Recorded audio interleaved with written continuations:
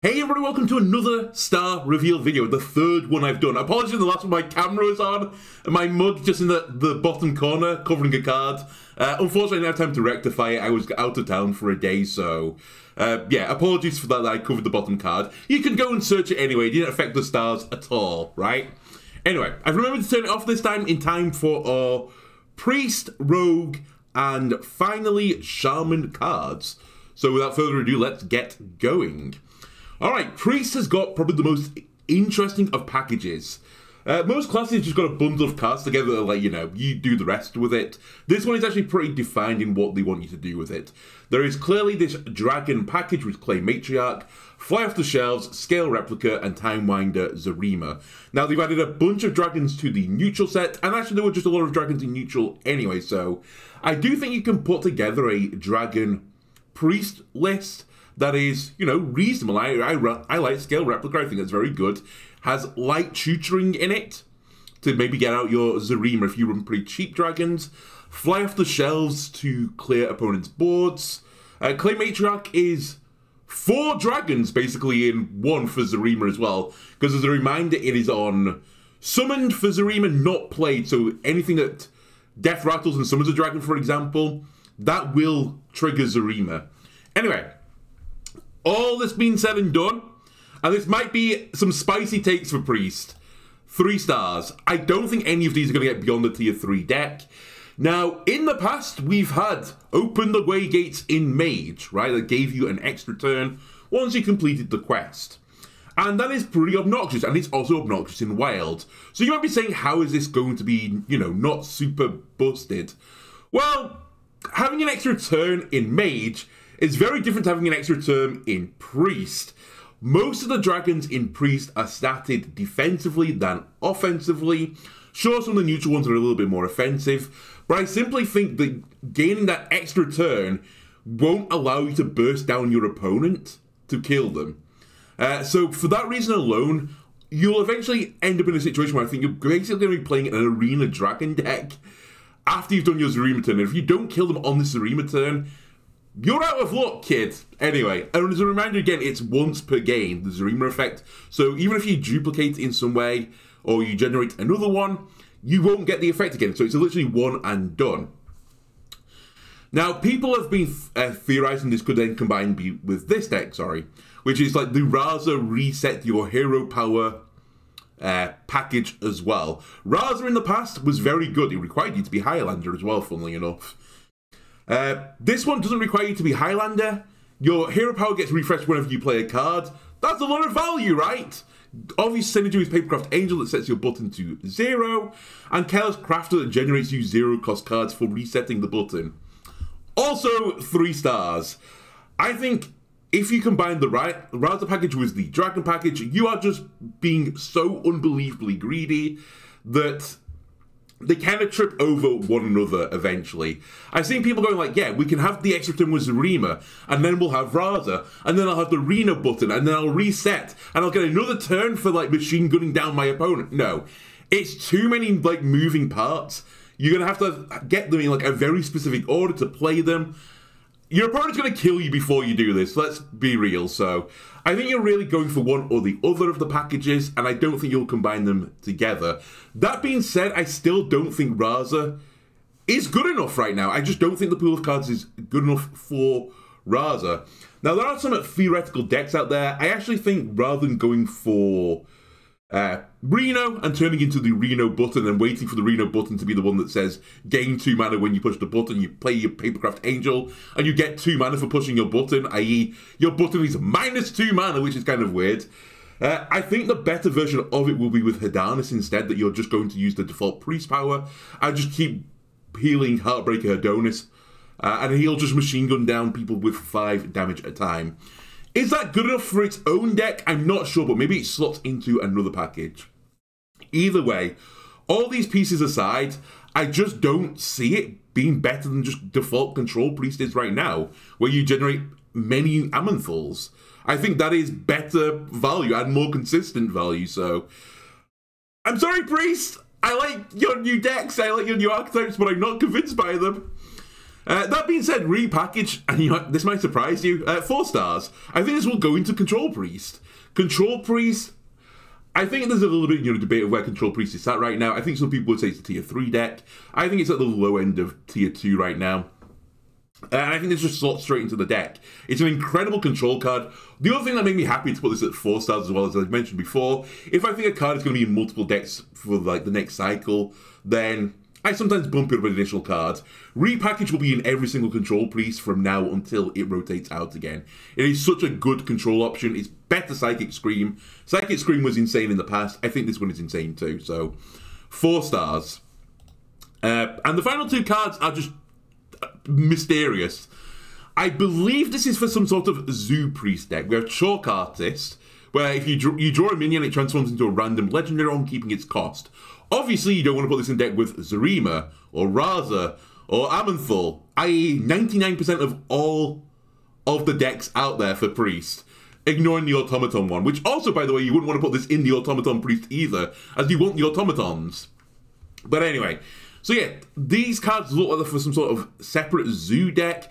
Purifying Power lets you silence minions. There's actually not that many minions in the game right now with bad effects with good stats. So all in all, I think it's going to be one star. I actually tried to put together a Zoo Priest deck with these two cards in it, and it is so awkward. Like it just doesn't feel great. That being said, if there ever are more cards printed for this like Zoo Priest archetype, if there's any bad cards that need silencing, or even more spells that silence your minions with a positive effect on them, then I actually could see these cards rising up the tier list. They're actually pretty solid cards. It's just there's no archetype around them for it. So yeah, this is my spicy priest deck. I don't think priest is going to be as good as people are speculating. One final word on this the, the Raza package. I do see a world where Raza is just slotted into the control priest archetype as like an additional little bit of value, an alternate win condition that eventually you might play Reno, and then you can just machine gun you, down your opponent whilst you're playing the game. Maybe that's where Raza is. If that's the case, then it will be a four star card, not a three star. But I don't think Papercraft Angel and the single on buddy in the neutral set will get into that deck. They're just they're too bad on their own. Anyway, now we go into Rogue, another interesting class with a pretty defined a pretty defined archetype within it.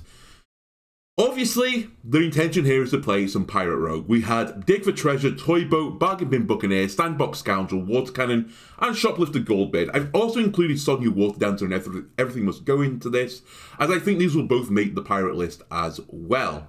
Sonya will allow you to generate more pirates, which Shoplifter Goldbeard will then start throwing them at the face. And this deck has a lot of draw innately in it, and I think Everything Must Go will probably get into that deck as a zero mana summon two four cost minions. For Treasure, Toy Boat, Bargain Bin Buccaneer, Water Cannon, Goldbeard, three stars. I think the, the Pirates package is going to be a tier three deck. I saw a lot of people playing it, and this is the first one of these I've recorded, by the way, after the Theorycraft stream, so I did see a bit of the Theorycraft stream. Again, I wasn't in town, so I only watched a little bit of it.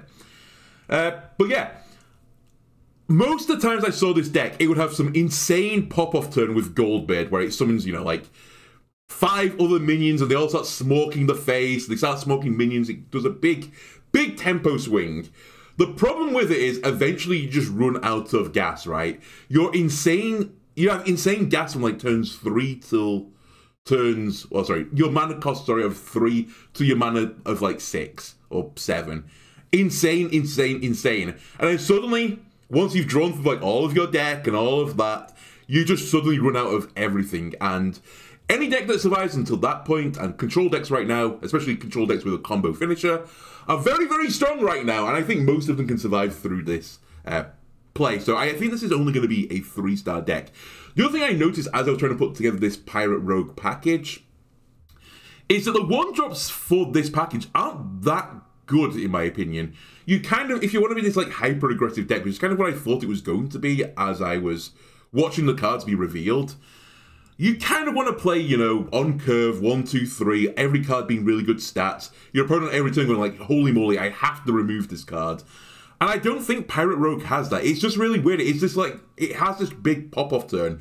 It's almost like a Tess deck, but it's a little bit more aggressive than normal Tess decks. And instead of Tess, you have Shoplifter Goldbeard. So I might be misreading this. Maybe it does slot into tier 2 because there's a big tier 2 vacuum right now of all the decks probably aren't going to be viable in a tier 2 right now, barring like the Dragon Druid.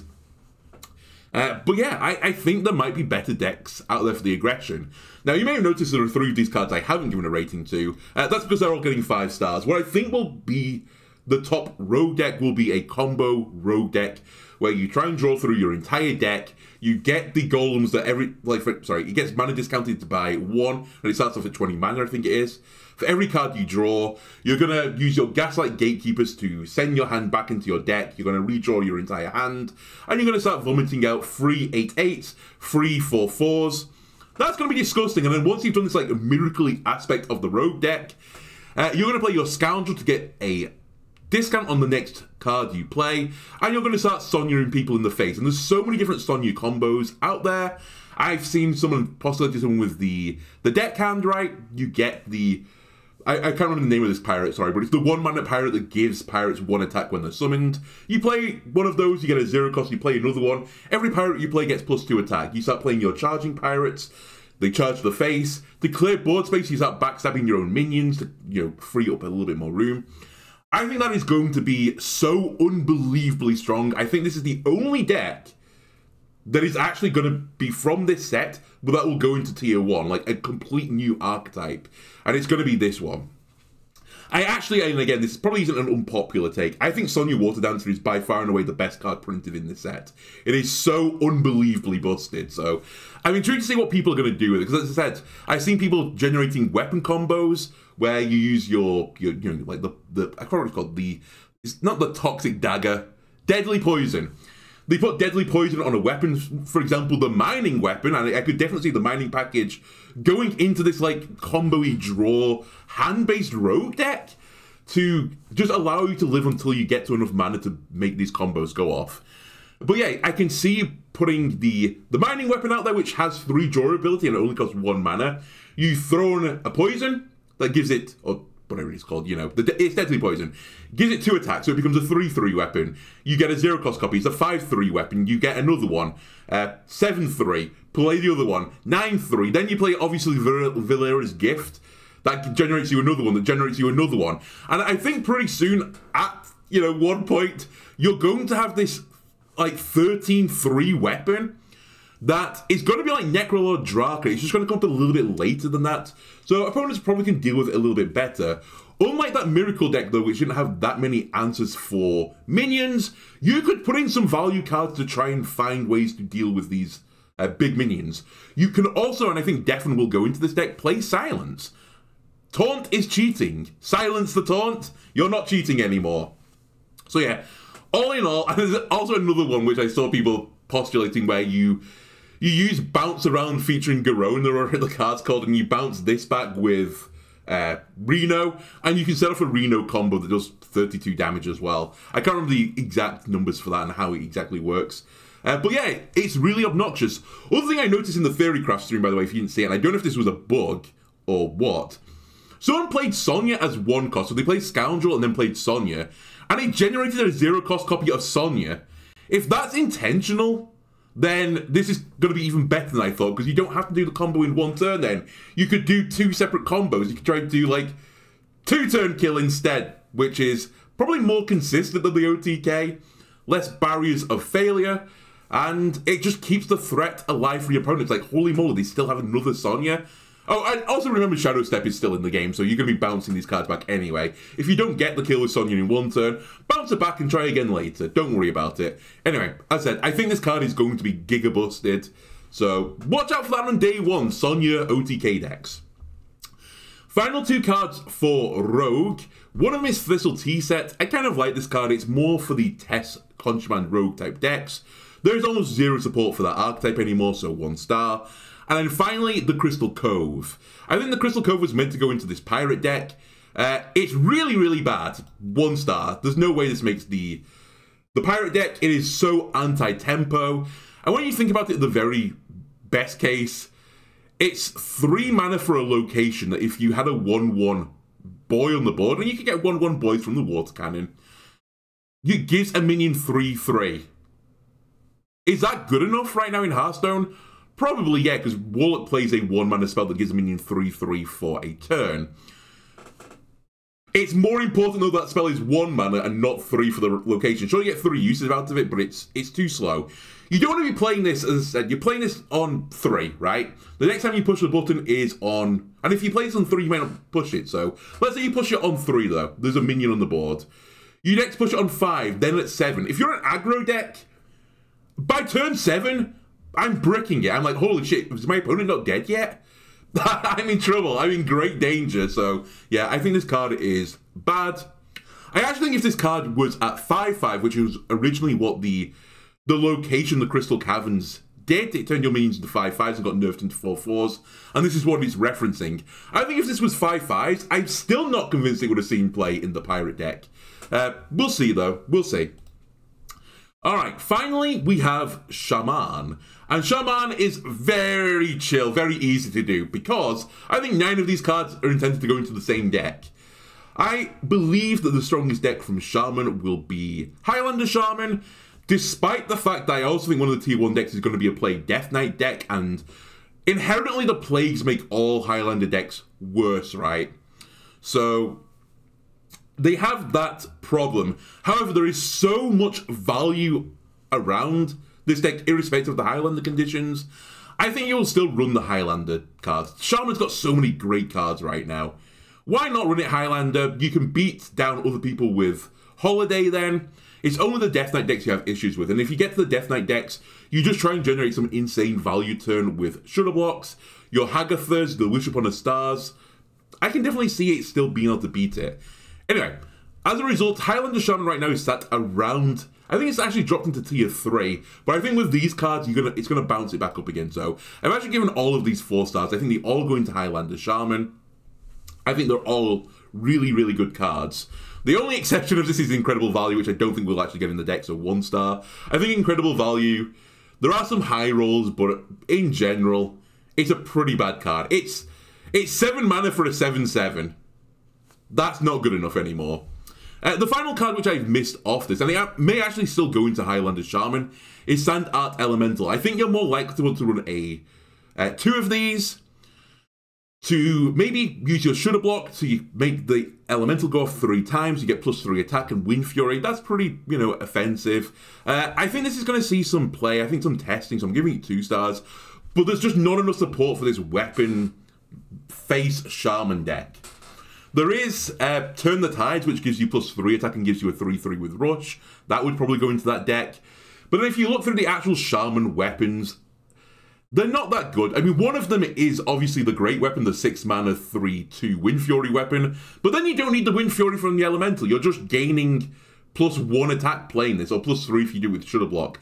Basically, I think the juice isn't worth the squeeze on it. I think there's easy ways to just buff your weapon without this card. So I know sometimes you are going to get high rolled by this, and someone's going to play Shudder Block, and then they're going to have the weapon up, and they're going to play Sand Art Elemental, and it's going to be my sixth attack weapon, and then they're going to play Turn the Tides, and then another Turn the Tide, and another Sand Art Elemental, and soon you're getting hit by a weapon for 20 damage because of the Wind Fury, and you're going to lose. But I think that it's so specific, this combo. It's like you have to play Shudder Block, and then you need to have these you need the weapon preloaded and you need like four of the cards. It just won't be a thing. Now, if there's any other cards printed for Shaman and they've had this they've had this as a character in the past, that means that their hero gains more attack or there's more weapons out there, especially if they ever get printed a very high attack weapon with no Wind Fury, then obviously revisit this package because it'll probably be kind of busted. For now though, I, I don't see it. Anyway, I only have one more of the star reveals left now. Next time I'm going to do Warlock, Warrior, uh, and the neutrals. I will also, at the end of this, do the event cards, I think. Uh, the event cards, they came out for the 10th anniversary. Obviously, they're not quite the same as the Whizbang stuff. In fact, they're in the game right now. So I'm kind of cheating a little bit because I know how good they are right now. But I'm going to kind of predict how good they're going to be when Whizbangs comes out. I'm also going to do the, I think it's four cards that went into neutral have never been in the game before. So I'll give them a star rating as well. So watch out for that tomorrow. Anyway, thanks for watching. I'll see you again tomorrow. Bye.